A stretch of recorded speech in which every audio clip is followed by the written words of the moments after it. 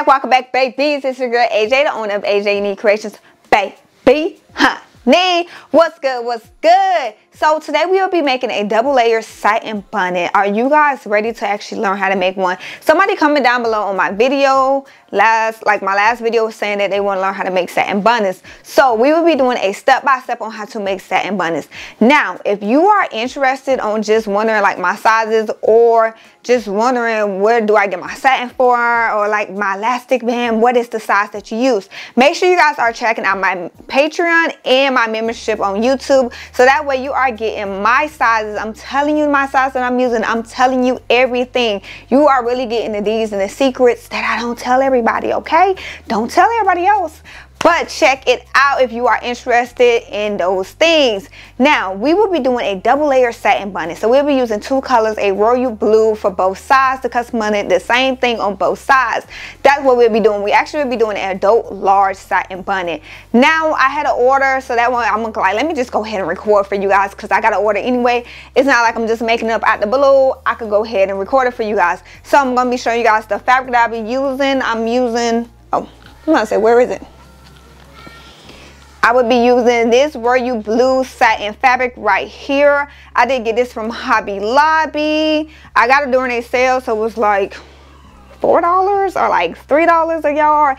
So i always kind of stack up when they have their little sales. I go and just get some fabric definitely colors that i know that i always use.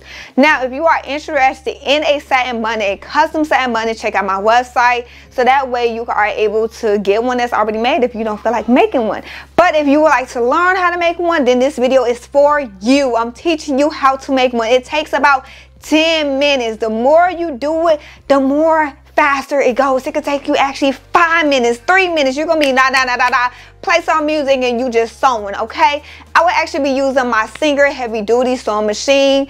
I love that machine. Whenever I'm using something like satin bonnets or something like that, or even doing scrunchies, I like to actually use my domestic machine because I need to use my zigzag stitches.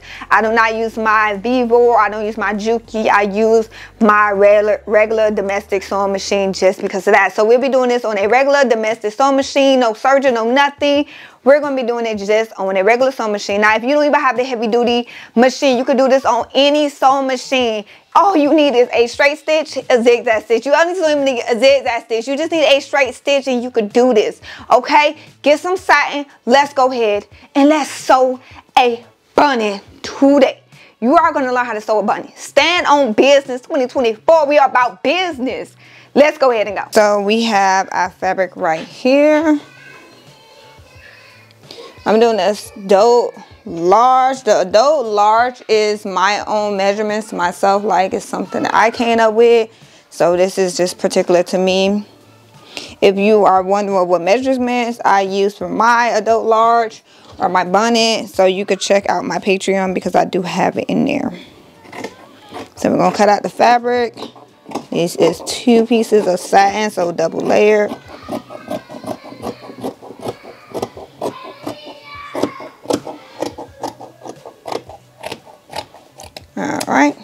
Boom. We're done. Now let's go ahead and sew. All right you guys. So i'm using my singer heavy duty 44s i have two of these. This is like my favorite regular domestic sewing machine for at home. I use this because at the end i do zigzag my elastic band. So we have two satins right here blue on blue. You want to do right sides together so right sides together. And the right sides are the shiny sides. You have a shiny side to your set and then like a little dull side. So you're going to do right sides together. Mostly always for sewing right sides together, honestly. That's really the truth. So this is the shiny side and then you see it's like a little bit dull, shiny. So shiny sides together is another way to remember if you look like, okay, what's right side still? Shiny sides together, line it up very good. You could do pins or clip it together. I'm so used to just doing it like this. That's how I got used to it because I have done it so many times. Alrighty. Make sure everything is lined up. How I like it to be. I usually cut like my second piece of satin a little bit bigger. That's something I got used to doing because at the end I do like to trim it. So that's just something I just really got so used to doing. I would like just cut it a little bit bigger. Okay, everything looks good. Now it's time to sew. So let's go ahead, bring it down. I'm going to use about probably like a 1 8 1 8 seam like for your stitch so usually that's right here on your machine. I'm using about a 1 8 for this bunny. You could do like a 1 8. You can also do like a 1 4. Just depending. I do have my needle all the way to the right. I'm doing my tension at 3. My width is at 3. My length is at 3. And I'm doing a straight stitch all the way around. We're using 100% cotton all-purpose thread that we got from Joann's. You always want to start back stitching. That's after you do your first couple stitch, back stitch. I usually backstitch through my whole entire process. That's just something I'm used to. And we're going to sew this like I regularly do. We're just going to go all the way around. We will leave about one inch opening. So this is the start. When I come back around, I'm going to use leave a one inch opening to flip my whole entire fabric inside out. Sorry if I go fast. this is how I'm used to sewing it. Like I said, I do a back stitch in between just to make sure everything is secure. I do back stitch while I'm sewing. That's just something I do.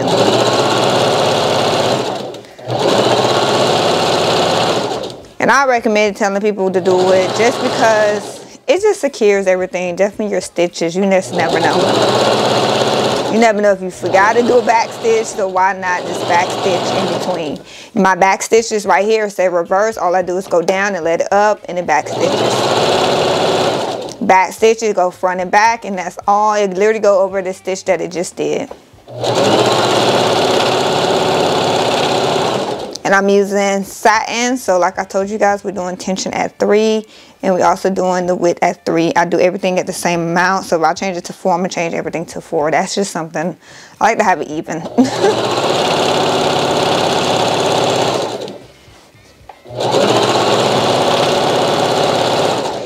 And if you also wondering, I am using a 75 by 11 needle on this machine. This is a domestic machine. I buy Singer, um, Singer needles. I buy them off Amazon, Walmart. And I just stack up on them. I'm also using a J foot on my machine. If you're just curious.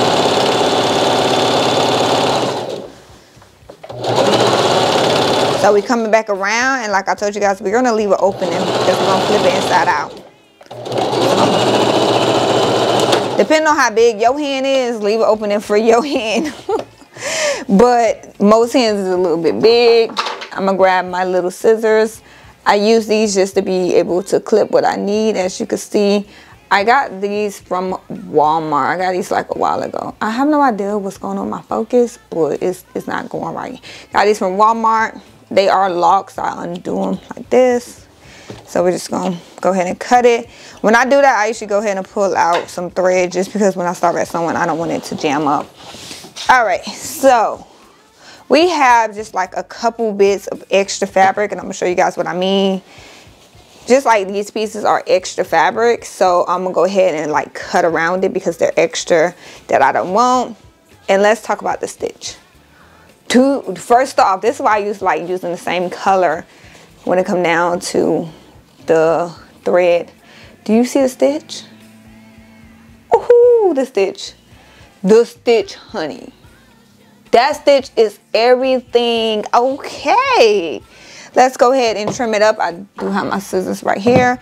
And I just do that because when you top stitch and you make your casing for your elastic you don't want this to be there because it will mess it up. It will like literally get stuck in there. And believe me i have did that plenty of times. Don't follow me. So i'm gonna like zoom in. Well i'm gonna zoom you guys out. So you can see what i'm doing. Not zoom in. And I'm just going to go around. I'm not going to do everything. Make sure you're not cutting your stitch. Please don't cut your thread that you just stitched. Do not cut it you could go as near as you can. If you don't trust yourself leave a little bit. I'm usually just doing extra. Now the part that we left open i'm not gonna cut that because i'm gonna need that at the end to close it. And that part is what gets people because sometimes they cut it and you need that at the end to close it. So don't cut the part that's going to be the case in the close. All right. I actually want to try my hand on the um the ruffle bunny. I'm gonna try my hand at one of those. I've been seeing them and I haven't tried it yet, but I'm gonna try them. Probably try that sometime next week. Next week is like a mini, just me week of sewing. It feels so good to sew. I haven't sewed like December. I was sewing orders, but it's just like me just sewing I wasn't doing and it sucks okay? Just sewing and not doing what you want sometimes. It, it sucks. But as a business it's like sometimes you have to just do something for fun be stingy sometimes because if you're just working on stuff back to back it do become a little bit boring. And I tell people that like it's okay to take them days where you just do something for you. It's not on your website or nothing. You're doing this because this is your like you're doing something for yourself. You're going to show something for you. Now, I'm doing this one on camera just because it's sewing and it's a and somebody did just ask me for like a bunnet video. And I just love sewing. Why not? Bunnets are quick to make. It's not like stressful or anything like that. Definitely after you learn your sizing. All right, so this is how it looks this is how it looks. Now we found the hole that you left because you left like a one inch hole remember? You left a little one inch hole. Mine is probably a half an inch because I always do that. And you're going to turn it okay? We're going to flip it. So now you're to see a shiny side. That is your bunnet so we're to flip it inside out. I feel like I'd be saying it wrong. Is it right side out inside out inside out? Yeah it's inside out because the satin is inside the shiny part is inside, so yes. But just in case you look like I still don't understand, we're going to do the shiny side out. So pull the shiny side out now. So let's go ahead. If you did a tight little hole like me, you may have it as a little bit tight. That's why I said if you it's your first time doing it, leave a good amount for your hand to reach through. Boom. Boom. And it's Monday. How's you guys Monday going so far? Mine's going good so far. My kids are driving me crazy, but if your kids don't drive you crazy, what are they doing? like your kids have to. I think that's their job is to drive us crazy, right? They have to. It's like, it's just, that's their only job is to drive us nuts. like, if we don't do that, I bet they look alike. Then we didn't do our job as kids, I? And I got two, a boy and a girl, so it's a lot. I got my dog outside. She just keep coming inside and she just keep barking for some reason. So I'm pulling, I'm also looking just to make sure there's not an opening because sometimes you can miss it, but I thought that was an opening, but it's not. It's just the stitches, right? And I recommend definitely being very gentle sometimes because I have ripped like a little hole in it because I was pulling it so hard. I'm like, why is it not going? And I'm like, okay, if it doesn't go now, I just go back and I like open the hole a little bit more, but don't force it. If you force it, sometimes you may end up just like ripping a new hole okay you could take this time to be looking to make sure your stitches are closed and this bunnet is closed and it won't be opening like once you put it on somebody's head and stretch it out. All right, this last little part right here. The flipping takes a little time. Now, you can use an iron to iron your edges. If you are new, I definitely recommend using like an iron to press it. I don't use one anymore. I kind of do like a toss up where I'm going to toss it because I feel like sometimes with satin you can overheat it and you can burn it. So for me, I try to avoid if I need to. If it's cotton, then that's something different. Like I would press the cotton side, but usually no. Just because you never know. Satin is tricky. You could use, you know, leave a bar mark on it. Definitely if this is your only satin for that customer, then now you gotta wait till you go back to the store and you push somebody order out. All right. So for me, I do this a couple times and I will even go around and just press it out myself because I don't want to use an iron to heat this up and I leave like a bar mark on it. You never know just to make sure this is the opening. Yep. And you could double check. Make sure that's the opening. You If you need to go around and make sure you don't got no other holes, do that. But I see that is the opening. So I'm going to actually like pull everything out just like this. Like you see laying it flat. If you were to iron it, that's what you'll be doing. But for me, I'm not gonna iron it. Now, if you iron it, just use like a parchment paper or something. I try to avoid it. Like I said, I'm be want to do that. Oh, I got an idea. That's what I'm gonna try making. Oh my gosh, because I haven't seen one with satin. I'm not gonna tell y'all because I be telling my ideas sometimes, and then people go stealing it.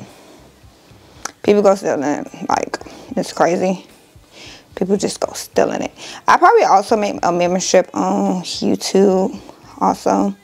So that way if you're on YouTube and you want to do a membership through there. So that I think I'm gonna do YouTube. And I'm sorry you guys, I learned that I'd be smacking and I never knew until I started YouTube. But I'm gonna try doing a YouTube membership and also a Patreon so that we could be on both things for you guys. All right, so this is the hole, right? Remember, we left the hole open. I'm to zoom in for you guys so y'all can see. This is our hole. I want you to take the fabric out, hold it. You do not want to sew this clothes. If you sew this clothes, whoo, you're going to hate it when you got to go back and unstitch it. Or it's like, wait, you done did the whole bunny and it's like, oh my God, I got to sit down and do this whole thing. Let's avoid it, okay? So we're to go ahead and we're to hold this piece so that way we holding it and we're not to stitch it. Now, I'm to use elastic. The elastic band I'm using for my bonnets, I told you guys I get off Amazon. This is the band. This is about one and a half inch, as you see. So about a half inch band elastic, if you guys can see. It's focusing more on my own, the name. Y'all, y'all see that? So this is my elastic band right here. And I already told you guys if you are in my Patreon or my membership, then you have the amount that I use, okay? So I use about one and a half. So I'm gonna go ahead, if you are new, you'll go ahead and you wanna leave that amount in there. So I know, okay, that's enough space.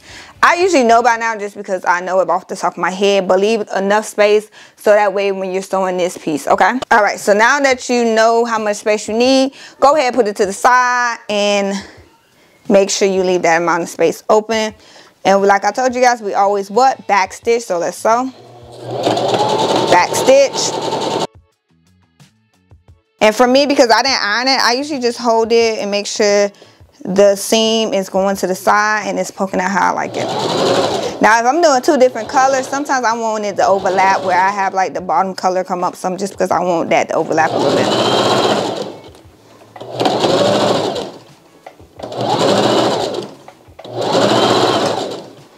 Now you could take your time, you could go fast, it's up to you.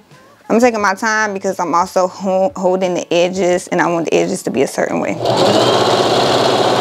because I want that seam to poke out.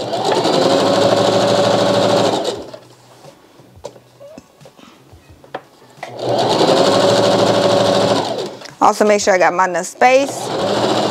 So I'm looking in the back just to make sure it's enough space and I didn't go over. Now if it do happen, all I know is that I can't use my elastic puller so I have to use a safety pin.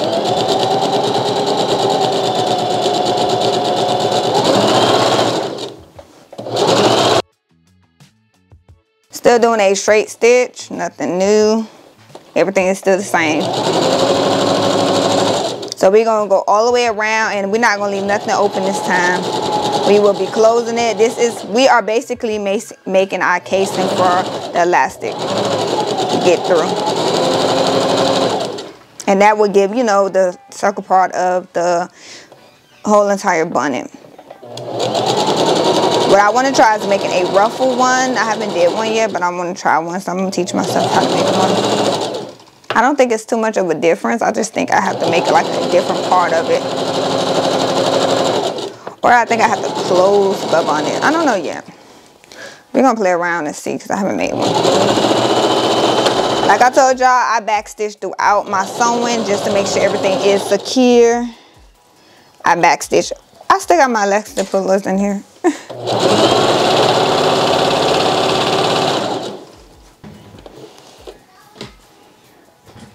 all right so we are actually almost done with this y'all got almost like a cramp in my feet oh this is a question for the people that sew. Do you sew with shoes on or do you sew with your shoes off? Like be honest because i'm not gonna lie in the beginning i remember when i first got a sewing machine i remember we returned it because i was like so clueless i like pressed down and the machine was like Brian I was like, oh my gosh, I don't know what I'm doing.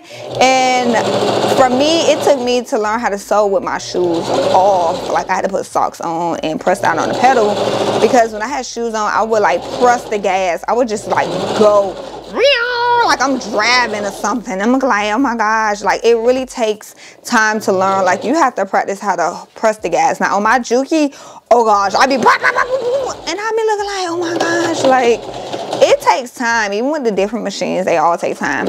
So we are to the end. We closed it. Boom, bang, pull it out. Now, versus the Vevor, this right here actually has a cutter on the side. But I'm so used to just grabbing my little scissors because I have them right next to me. And I trim because I can get as close as I need to versus trying to cut that and then go back in and trim. I trim as I go. I don't wait. I trim. Now it's time to actually elastic the whole entire bunny. What I'm going to do is actually turn my machine down. My machine down is right here. Sexy, sexy it is. So we're going to try to zoom you guys in so you can see. This is my machine dial. So I am on black. If I were to be on blue, I would turn to S1 and that means I could do the blue stitches. I'm on black. So my dot up here is telling you which one I'm on. I'm doing a zigzag stitch. So I'm going to go to the second dial. I'm not worried about this blue because if I turn it to S1, that'd be blue. But I'm worried about black. So I'm keeping it on black, black, black. We on zigzags okay? I do zigzags on my elastic to close it. It just makes sure it's on there very tight versus some people do not. I do zigzags. We have our elastic. Are you ready to go? Are you ready to party all the time boom for me, I do both sides. So one side I just have this way, the elastic gonna go in. Now, if you don't have a pin or elastic puller, then your elastic gonna go straight through. So you could pin it to like the outside of the fabric or do like a big pin and do it. So we're gonna go to the part that we left open. Remember, we don't supposed to sew this. You don't supposed to sew it. We're to go ahead and put our elastic puller. This is actually called elastic puller. You could get this from Hobby Lobby, Amazon. I believe I have it linked down in my Amazon store. I don't remember. I will go and check. If I do, I'll like post it down below my Amazon store link. All right, so I see this part did get too tight. So before I even finish, remember I told y'all if you go over too much, then you can't use your elastic puller. That's okay. Let me you what we're gonna use. Boom. I always keep like a safety pin in here just because of this. And also because of my kids. So I like keep one. And I may have lost it. Nope. It was all the way at the bottom. We're to get our safety pin, okay? We got our safety pin right here. And what we're to do is keep one elastic puller at the other end and then um, put the elastic, not the elastic, safety pin on one end. And I use the elastic just because sometimes, like I said, you may go over a little bit. And that's okay. Don't get frustrated. Boom. Switch your tools. That's all. Switch the tool. Boom. Move that there. Last um, safety pin. Boom. Let's redo and let's pull it through. Safety tin pins does take a little bit longer. Y'all, it's like outside just pouring down. Safety pins take longer. That's why sometimes people don't like using them because it's just like more, more time. Like you go way slower with a safety pin versus the elastic puller it's just going all the way through they're like five dollars too and it's coming with two in there but this is the process of me pulling it through and once we do this then we'll just be closing up the um the opening. And then that's it. So in total if you not recording like me not recording like me and you pre-cut or even if you still cut like it probably take you about 10 minutes to do one bonnet so you are able to knock these things out in a day like an hour you can knock out probably like 30 to 40 if you do that, you probably a pre-cut. but it's also why you charge your price because you are cutting this fabric by hand. You are piecing it together, you're sewing it, you're doing elastic pulling, and you are top stitching it. After that, you make sure everything looks good at the end. Just don't get somebody something that look crazy, okay? And this is a double layer satin bonnet is reversible so if you do not know satin bonnets are very good for your hair one thing that a lot of people don't know and this is a tip because this is if you're going to be selling this make sure you also believe in your products. I'm telling y'all tips but make sure at the same time you believe in your products. So if you do not know satin bonnets are amazing for your hair. It's not even just for curly hair and you know don't come at me in the comments. It's not just for black people. I make satin bonnets for everybody boy girl white black hispanic whatever. I make it for everybody. That's why my business is the business that it is and it's so unique because it's not made for one person. It's unique just for you you You pick your style you pick your design you pick your colors that sometimes not everybody gonna have. You picking colors was like, oh gosh, like I didn't even think about pairing this color with that color. I thought purple and yellow would look crazy. But this is that would make to this business so amazing. Like I meet people with unique designs and creations that I get to bring it to life. It's so freaking cool. But satin bonnets actually protect your face, not just your hair. So if you do not know, if you sleep on cotton bunnies, right, when you have lint or like, you know, dandruff in your hair, and I'm, I'm gonna tell you guys, I have dandruff. I have been natural my whole life and I always had problem with dandruff and I suffer from dandruff because my hair just gets so dry and I always have dandruff, right? When I sleep on my pillow, I'm leaving all that dirt and that moisture and just nastiness on my pillow. And guess what? It's also going on my face and I'm breaking out. Since I have started wearing my satin bonnets, and I wear them a lot as you guys can see now, I feel like I have less acne. I have less bumps because guess what? With the satin bonnet, it's not rubbing off of my cotton pillow to rub on my face. You get what I'm saying? It's not on there. That's why I think I'm going to make satin pillowcases. But it's not rubbing off on there. So that means I'm not breaking out. The satin bonnets is keeping the moisture in your hair so your hair won't be dry. So wet your hair at night, put the bonnet on. Definitely if you get a cotton and satin bonnet, honey, that moisture and that wetness is going to be on your head. So now we're going to overlap our elastic band. And when I say overlap, overlap, okay? We're going to overlap it. We already have it on zigzag and we're just going to zigzag. I do a couple of them. All I do is just do some back stitches a couple times just to make sure it's secure. Basically back stitch the whole entire time.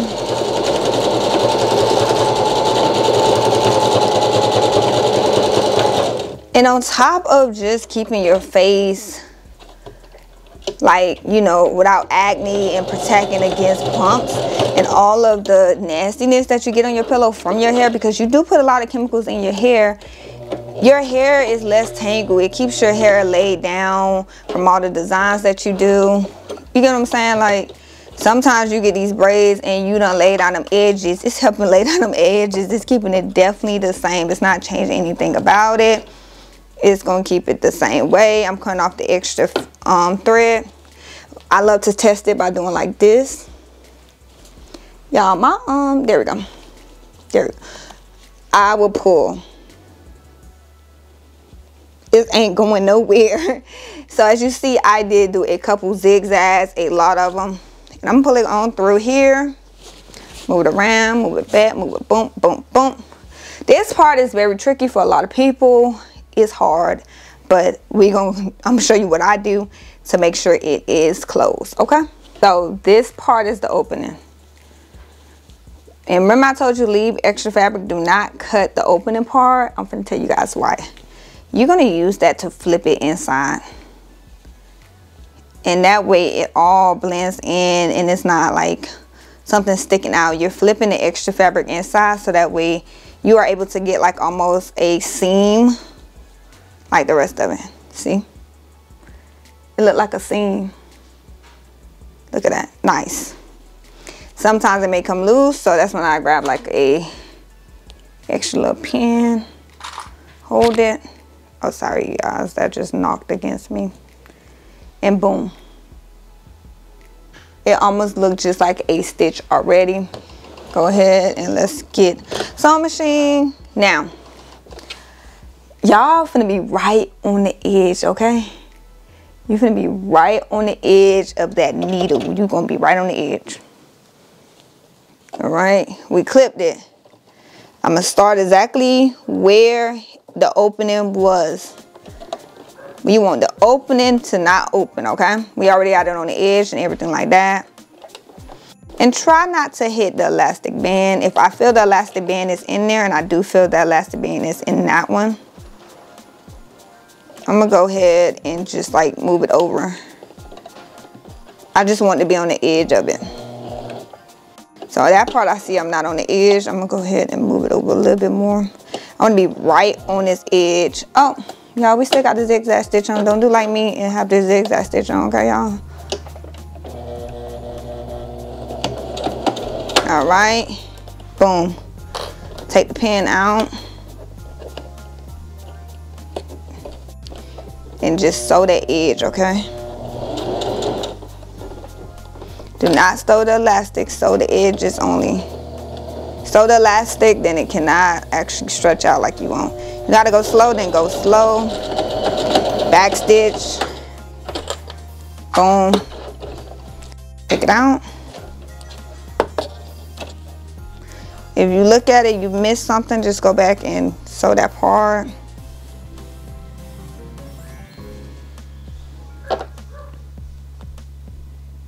Okay, I see that part shifted a little bit. I'm gonna go ahead and just sew that part. It's literally just one little piece that shifted. And I'm sewing that part, but I'm actually lining it up with the other thread so it won't look like I went back in and sewed it. You get what I'm saying? All right. Clean it up. Make sure that part is closed, not nothing is open. And you actually can wash these satin bonnets also. Like I tell people, you can wash these satin bonnets. Just make sure who you get your satin from. You can wash it. And guess what? We are done. We are done.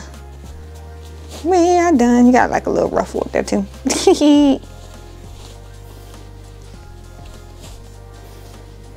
All right.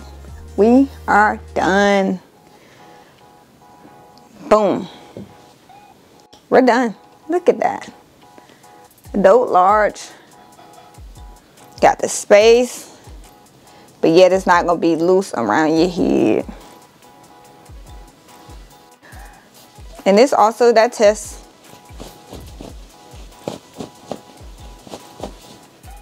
Nothing's breaking. We are. And that is how you make a double layer satin bonnet adult large. Okay, now it's so pretty. I love this color. We are done. This is the adult large satin bonnet. Now, when I show y'all the face of my mannequin, don't laugh, okay? Because my kids drew on my mannequin. When you have kids, that's just the process. Now, this is the mannequin right here. Don't worry about the pin marks. Like I said, my kids was just writing on it like this supposed to be a doll head for them. Y'all see it? Like, hmm, they say have kids. Look what them kids did to my stuff. But I'm not gonna go throw this way. This thing like $7. But this is the bunny right here. It is a beauty. We did adult large so you can see the space that it has on the side. For that way, if you have more hair than me, where you got the long hair and you got them bundles in your head, and yeah, you got to don't have the bundles going to your booty. You got the bundles going to your booties, baby. You need adult XL. But if you got the long hair, then this is the bunny for you. Do you see it? It got the inches on there for your inches. Hey, but this is the dope large. This is what we sold today together. Look how it came out. It is so pretty. I love this color. When it come down to doing satin, I always love satin just because of the look, just because that shininess, the feel. So soft. It's just so beautiful. But this blue on blue is blueing, baby. it's blue and baby. Oh my gosh, I'm so corny with my jokes. But I do hope you guys enjoyed today's video. So make sure you guys like, comment, subscribe. Check out the website if you are interested in a custom bunny and you looking like I don't want to sew it myself. I want something made. Then check out the website. But I do hope you guys enjoyed today's video and I'll see you guys next time. Bye.